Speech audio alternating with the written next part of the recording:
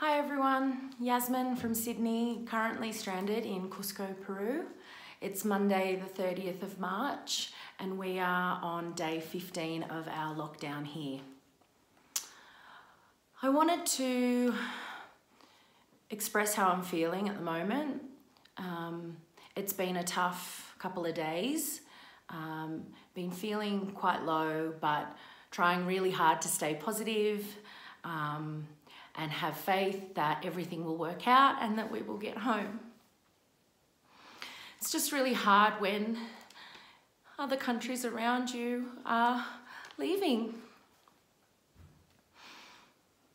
And it's also hard when the situation and circumstances are changing as well.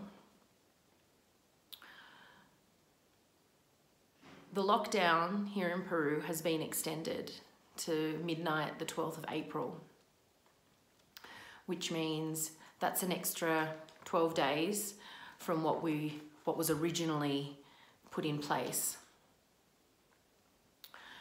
On top of that, I got news this morning from my travel agent that LATAM Airlines have cancelled all of their commercial flights for the month of April. So lockdown till the 12th at this stage. No commercial flights until the 30th, 1st of May, sorry. That's another four weeks. We've already been here in quarantine lockdown for two. That's another four. That's six weeks. No one wants to be here that long. And no one wants to be stranded without anyone coming to their aid for that long.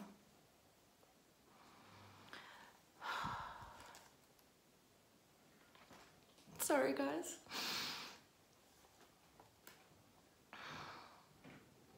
The Chimu Adventures flight left yesterday, taking approximately 260 Australians home.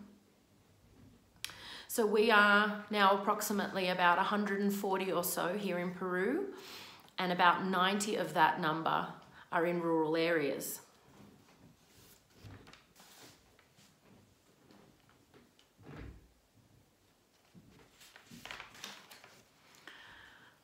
I'm very happy for the Aussies who have gone home. However, I have to be honest, I'm a little unimpressed with Chimu Adventures at the cost of that ticket as it is ludicrous and unaffordable for many. It feels like in these circumstances that people take advantage of people in tough situations. And that's not okay. Diana Nelson, Ambassador to Australia in Peru and Bolivia. Your communication via Twitter to us stranded here in Peru hasn't given us any hope or comfort over the past two weeks. After countries, sorry, other countries have been communicating with their people daily, sometimes twice a day, with efforts and updates on what they are doing for their people. How is it you can only manage a tweet here or there and with no substance? Foreign Minister Marise Payne. Considering up until now it is us Aussies who have been waiting on advice from you, our Foreign Minister, and DFAT, I have some advice for you. I think you should call up one of the foreign ministers from with whom you had a teleconference call on the weekend. Canada, Brazil, Germany, Italy, and ask them how they have managed to repatriate their people from all over the world during this time, and specifically Peru, where it seems the Australian government is unable to do this, or, not or, and has no desire to. As we know, and you have communicated to us in writing that you have no plan to repatriate Australians from Peru. My understanding is that DFAT's purpose is to actually manage through these kinds of crises and help Australians abroad.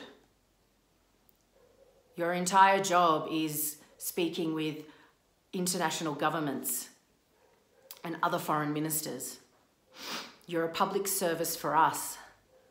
Where is the assistance for us? This is your sole purpose. Scott Morrison MP, your leadership has proven to not at all be for the benefit of the Australian people. You left for a holiday to Hawaii while our country was burning. People lost their homes and their livelihood. And now you're blaming Australians for being overseas during this time. Such an immature and irresponsible statement to make for someone who is meant to be our leader. Australians, we should be supporting and helping each other right now. We're all suffering in different ways.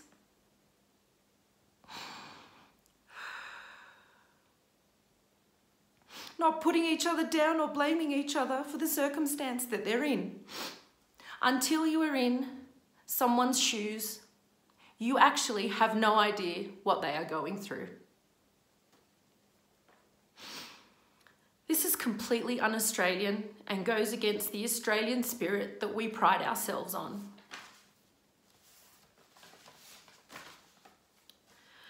What do we need here in Peru? We need to get our people who are in remote areas to Cusco or Lima and then get us all on a plane home at a reasonable cost with payment options available. Somehow we seem to be the only country who can't do this. Why? We deserve the assistance and we deserve to be kept informed properly. As I've said before, we all pay our taxes. I don't know what the hell for.